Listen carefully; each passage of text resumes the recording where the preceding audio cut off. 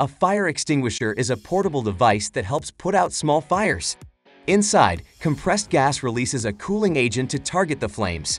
These are classified based on the type of fire they're meant to put out. First up, we have the water fire extinguisher, recognizable by its red label. This type is used exclusively for Class A fires such as paper, wood, cloth, and plastic. Water extinguishers cool the fire by soaking the material, making them simple, common, and affordable. Next, we have the modern water mist extinguishers.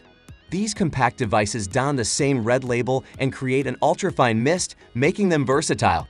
They're safe for Class A, B, C, and even Class F fires, like oil or grease fires in the kitchen. Foam extinguishers, marked by their cream label, are great for both Class A and Class B fires, fires caused by flammable liquids like petrol. They work by smothering the fire, cutting off its oxygen supply. For more versatile use, we have dry powder extinguishers, marked with a blue label. These are your go-to for Class A, B, and C fires, including solids, liquids, and gases. They're also capable of handling Class D metal fires with a specialized powder. For electrical fires and Class B flammable liquids, CO2 extinguishers with the black label are the best choice.